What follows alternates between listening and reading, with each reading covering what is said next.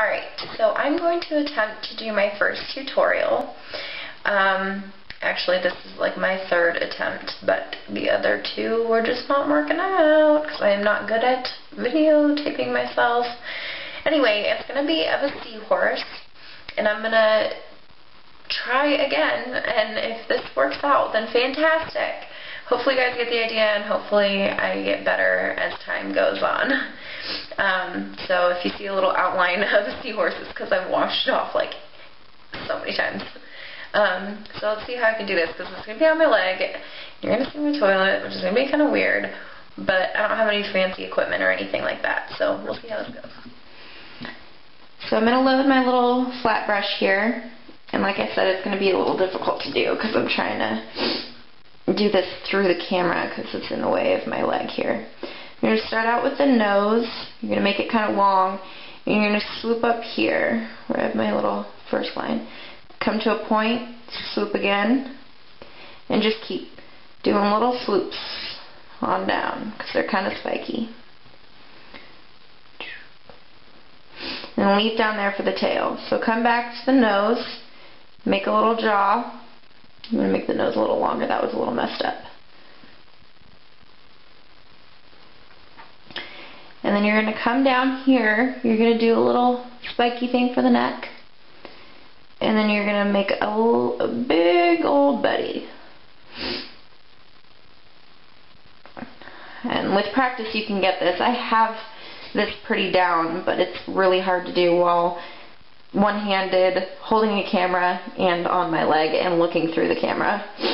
So then you're just going to fill it all in, and you can use different colors if you want, do some shading and stuff, but I just want to make sure that I get this done alright and not make it too complicated because of the filming problem. So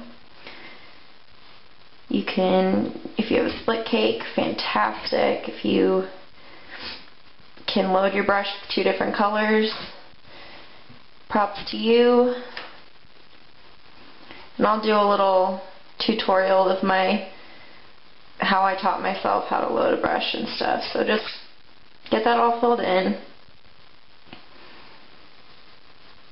I'm trying to do this quickly. So then come back down to the tail, which is right there. And you're going to make a nice big swirly circle. And some spikies coming off tail there. Oh, this probably looks really deformed. But you can make it look a lot better since you won't be holding a camera while you're doing it. You can perfect it.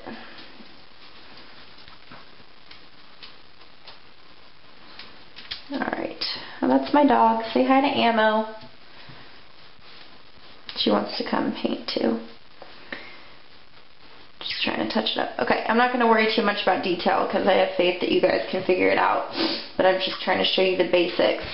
Because one time I went to SeaWorld and the chick had no clue how to paint a seahorse. It was literally like an oval with eyes and a little swirly tail. It looked really funny. So then you're going to come and you're going to, going a, a little brush, whatever you feel comfortable. I don't think there's any like, any, uh, particular one you have to use, but for the eye, let's see if I can get this here and look at the same time. You're just going to place it right here and you're going to do a nice big cartoony hello eyeball. Did this for the kids at my event yesterday and they loved it. Okay, so you've got your eye. And you're going to load a tiny detail brush with some black my outlining is not going to be too hard. Okay. So if I mess this up, okay. Just go ahead and give the little guy some outlines to define the, oh this is horrible. Woo. Little spikies he's got. Okay, so you just want to outline him get the eyeball filled in and everything. And then what you're going to do is you're going to, this is the part where I'd probably take another color and add it in there like a darker color or something, but I'm not going to do that. I'm just going to show you the outlining. And just do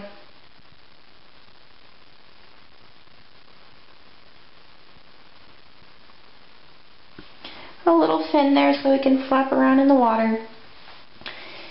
And then if you want, you can use you can use black. I'm going to go ahead and use the blue.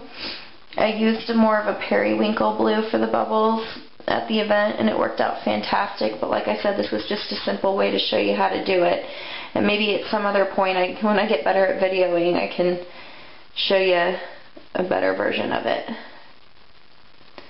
a more easy so you want to for the bubbles just gonna make a bunch of circles here